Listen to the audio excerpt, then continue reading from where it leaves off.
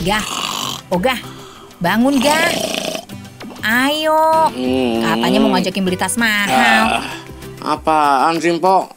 Lagi enak-enak tidur juga. Ide, si Tundi Ripan yang bilang. Ntar Oga ajakin dia tas mahal, Po. Kalau udah sampai India, lah begitu Hah? kan. Tas mahal apaan, Pok? Bukan tas mahal, tapi tas mahal. No, oh no, no di belakang. Pucung gabus. Cakep amat ya, Gah. Lah itu dari kapan ya di situ? Kok ayah kagak lihat sih? Udah, ah, Mpok. Oga mau pindah tidur nih, biar nggak digangguin. Tidur mulu. Ayo buruan, anterin ayah ketemu si Unyil. Oga, ah, nggak mau.